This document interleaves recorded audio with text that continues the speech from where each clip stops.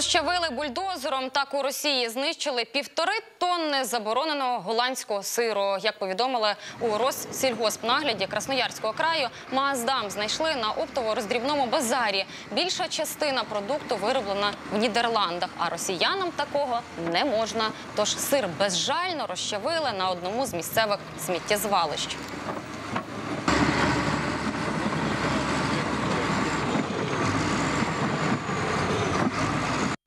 У соцмережі під новиною про ліквідований сир російські читачі здебільшого обурюються.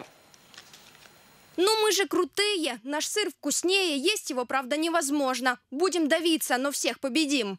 Ужас какой-то. Они издеваются над нами. Сами жрут все, что хотят, а нас пытаются убедить, что скоро война и все на победу. А сыры расслабляют, как и яблоки, икра и что они там еще закапывали.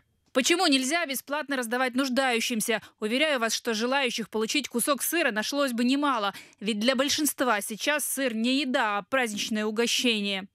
Цього літа у Красноярському краї бульдозером вже переїхали півтонни польських груш, постачальник яких які є у російському списку санкцій. Цей перелік діє останні три роки. У ньому Сполучені Штати, ЄС, Австралія, Канада і Україна. За час дії санкцій, згідно з даними самих росіян, вони знищили більше 26 тисяч тонн різних продуктів із цих країн.